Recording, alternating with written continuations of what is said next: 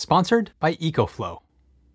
There's been a lot of hype about graphene since 2004, when it was first discovered and hailed as one of the most important breakthroughs in materials since the plastics revolution a century ago. But since its introduction, graphene still hasn't hit any truly mainstream products that we can see in our daily lives. But that's starting to change. One product that was recently announced could make a big impact on the renewable energy market. Let's revisit graphene, supercapacitors, and when and where it's going to start making an impact.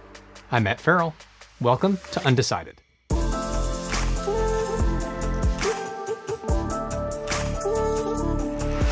Almost two years ago, I produced a video on graphene, discussing why it was taking so long for it to come to market. About a year ago, I made another video on supercapacitors and if they might be the future of energy storage. I always try to keep perspective and reiterate that these things take time to go from lab to commercial and mass produced product. And when it comes to graphene, we're still waiting. But just recently, one of the companies I highlighted in my supercapacitor video, Skeleton Technologies, is finally delivering on the graphene promise.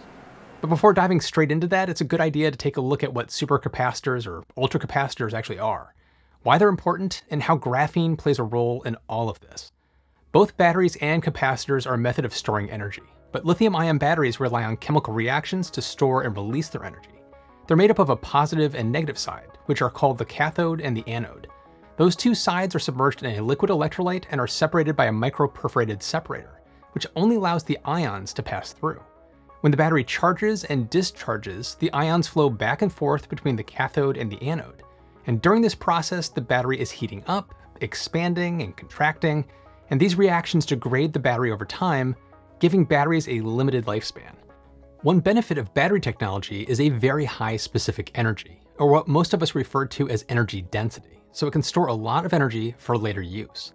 But capacitors are different. They don't rely on chemical play in order to function. Instead, they store potential energy electrostatically. It's basically capturing static electricity. Capacitors use a dielectric or insulator between their plates to separate the collection of positive and negative charges building on each plate. It's this separation that allows the device to store energy and quickly release it. One benefit of this is that a 3 volt capacitor now will still be a 3 volt capacitor in 15 or 20 years. They don't last forever, but they're very consistent.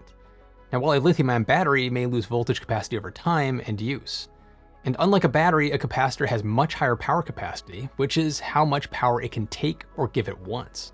Think of it like water flowing through a hose.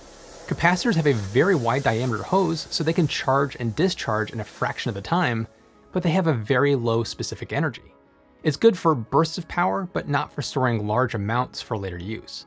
Supercapacitors or ultracapacitors kick things up a notch because it's starting to venture towards a battery's design, and they use an electrolyte on either side of an insulator. Now when current is applied, ions build up on either side of the insulator and create a double layer of charge. Now what makes a supercapacitor truly superior to a normal capacitor, or even batteries in some cases, is the distance between the metal plates. In a normal capacitor, the distance is around 10 to 100 microns, and a micron is one thousandth of a millimeter. But in a supercapacitor, that distance is narrowed to one thousandth of a micron, and that smaller distance leads to a larger electric field, which means more energy storage. Not to mention, the carbon-coated plates on the supercapacitors increase the available surface area for storage capacity by up to 100,000 times. That's a lot more energy available for use than a normal capacitor.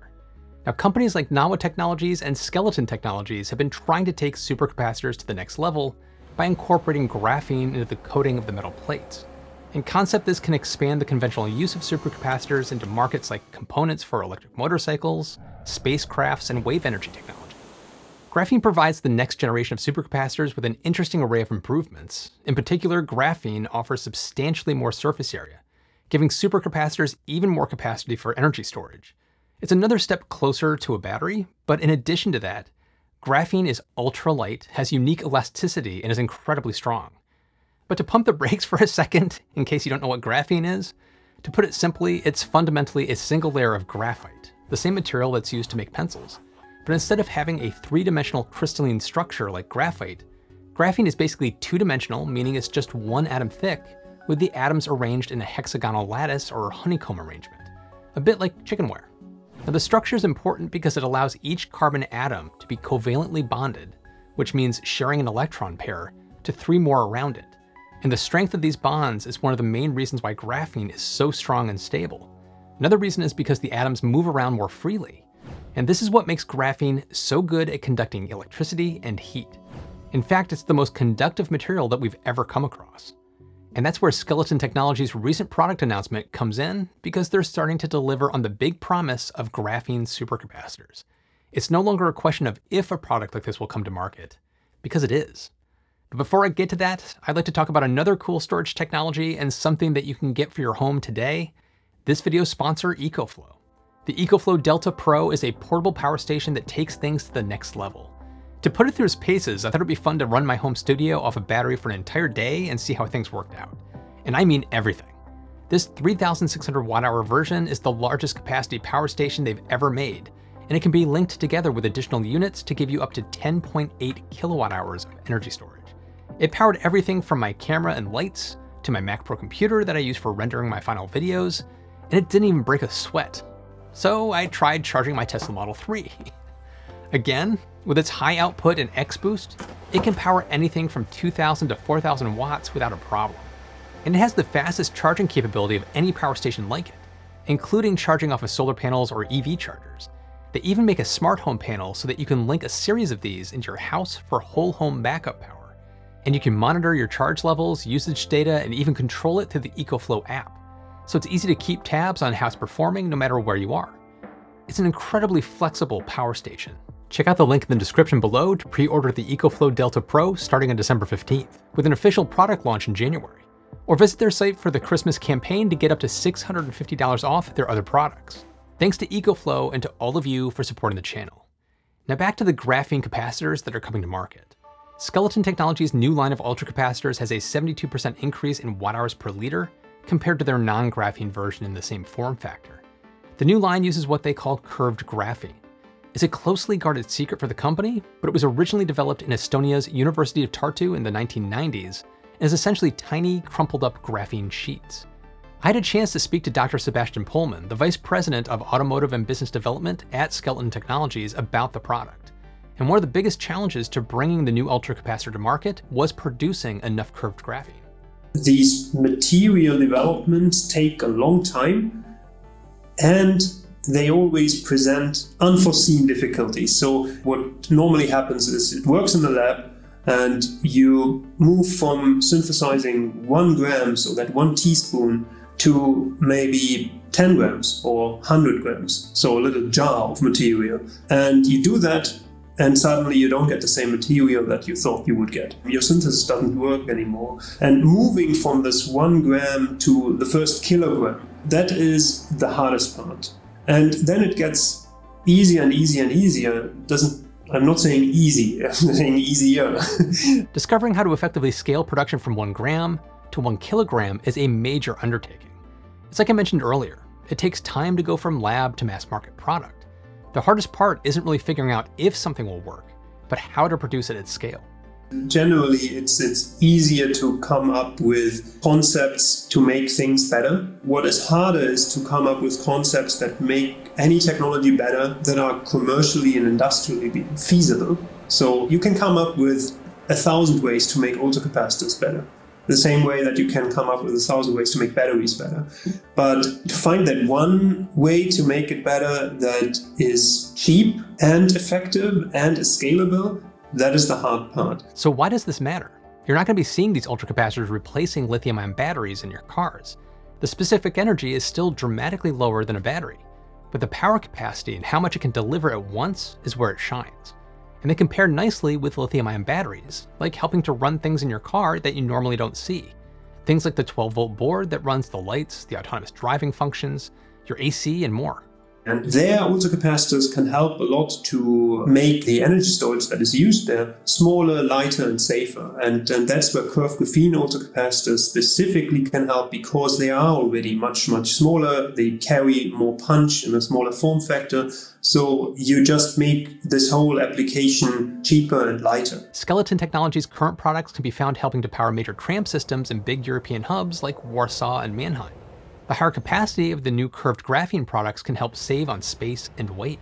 you look at one specific application that we have is on top of uh, trams or light rail trains, where you have ultracapacitors that store the energy when the train brakes and release it when the train accelerates. And that's an application that can actually save a lot of energy. So in normal operation, that saves around 30% of energy. So today you have maybe three strings of ultracapacitors on top. With our graphene solution, you can take one or two out, and that makes the whole solution lighter and leaves a lot of volume for other things, but also reduces the amount of peripheral systems that you have on that train. But when it comes to things like renewables, supercapacitors and ultracapacitors can play a big role. Their ultracapacitor modules are already being used in wind turbines to help manage the blade pitch control. The new graphene versions can provide the same amount of power and control in fewer modules, and that means reduced space, reduced weight, and reduced cost. But supercapacitors also play a very large role in grid-scale energy storage systems. I asked my colleague who is actually like dealing with all the wind and, and, and renewable energy segment, and, and he told uh, me, okay, a lot of wind energy is good, but it's like candy. If you have too much of it, it might be bad because you actually destabilize the grids. If you have too much solar, too much wind, it's, it's what we're striving for to have 100% of it. But if you have 100% of it and you have no energy storage, you lack the foundation because capacitors are able to deal with these very short peaks that normally are dealt with by the huge rotating turbines that we have on coal power plants, nuclear power plants, and so on. The more you take these out and bring renewable energy in, the more you need reactive power storage. And that's what ultracapacitors can do. So when are we going to start seeing their new curved graphene ultracapacitors hit the market? Well, commercial production is currently set for 2023, but they're sending samples to partners now, mainly European customers and automotive OEMs, and they're getting feedback to make adjustments as they ramp up to full production. But they aren't stopping there with curved graphene. This is just the beginning for what's to come, and Dr. Pohlmann teased a little bit about what's coming next. Our next steps are is using it in the so-called super battery technology, which we have developed over the past five years, basically, which we're now slowly moving out of the lab into the actual application and industrialization phase. And that is a technology where we increase the energy density even further by combining the curved graphene with a specifically developed chemistry. Basically, there's 10 times the energy density that you have today in ultracapacitors, but it doesn't have that much power. So it's kind of filling the gap between the, the ultracapacitors and the batteries. So it, you can kind of imagine it like battery with maybe a fourth of the energy that you normally would have in a battery, but you can charge it in around 20 seconds. So it's something that uh, really covers these 20 seconds to 5 minute gaps that ultracapacitors are not really good at, but batteries are also not really good at. You can think about things like supporting fuel cells in the operation. You can think about any hybridization, a lot of grid applications where you just need to cover a couple of minutes of power pulsing a lot of applications in, in, industrial grids where you have three, four, five minute power peaks that you need to shave off. All these things can be solved by uh, the super battery technology. When it comes to graphene, the media hype got a little bit out of control in the beginning, which set some unrealistic expectations for when we'd start benefiting from its capabilities. Fast forward to today, and we're finally starting to see technologies come to market that have a good chance of making an impact. Now, I'm really excited to see where Skeleton Technologies takes their curved graphene products and how other products like them will help benefit renewables and other sustainable technologies. But what do you think? Do you think graphene is still all hype? Or is it going to start making an impact? And let me know if there's any other companies doing interesting things with graphene that I should look into. Jump into the comments and let me know. And thanks as always to all my patrons, and a big welcome to new Supporter Plus member, Michael J. McHale. Your direct support really helps with producing these videos. And speaking of which, if you like this video, be sure to check out one of the ones I've linked to right here, and subscribe and hit that notification bell if you think I've earned it. Thanks so much for watching. I'll see you in the next one.